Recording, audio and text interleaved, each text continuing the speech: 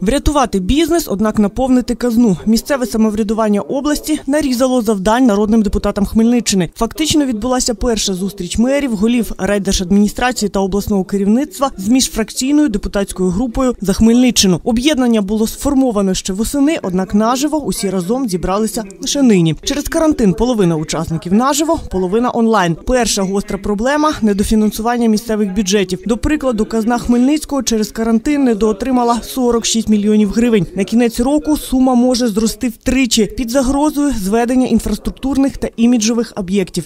без допомоги держави, області, народних депутатів, звичайно, що ми не зможемо реалізувати е, всі ці проекти, які е, важливі не лише для міста, а для кожного з нас. Тим часом мер Старокостянтинова вважає, фінансовий голод стався через відсутність балансу у пільговому оподаткуванні. Фактично від сплати звільнили ті підприємства, на які карантин не вплинув.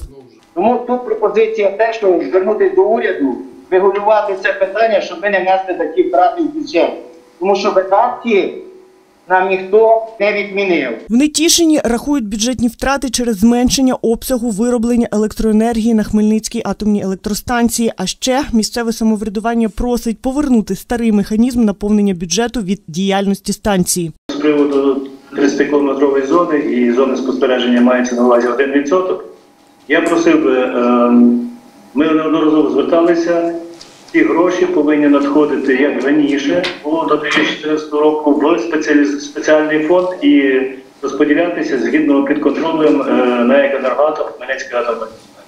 Депутатського втручання потребує і профтехосвіта. У глухому куті не лише фінансування, а й стратегічне бачення подальшого розвитку цієї освітньої ланки. Що найголовніше, яка проблематика, яку ми постійно опираємося головою і не можемо вирішити, це те, що е, ми е, ставимо собі за мету якомога більше підготувати дітей, а не ставимо собі за мету підготувати фахівців для галузі економіки.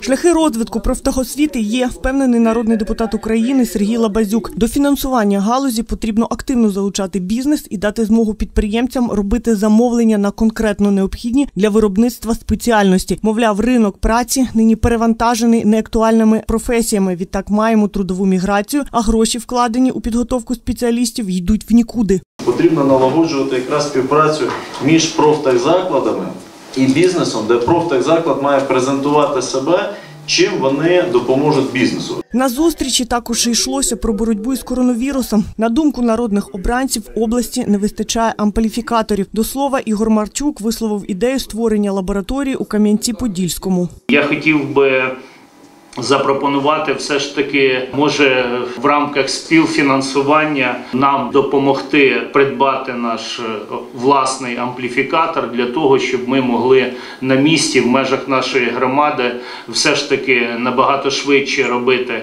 робити ці тасить ПЛР тести. У найближчий вівторок учасники депутатської групи за Хмельниччину планують зустрітися з урядниками Міністерства фінансів України та передати напрацьовані під час наради пропозиції від місцевого самоврядування області. Юлія Астафурова, Ігор Павлюк, головні новини Хмельниччини, Ті 7+.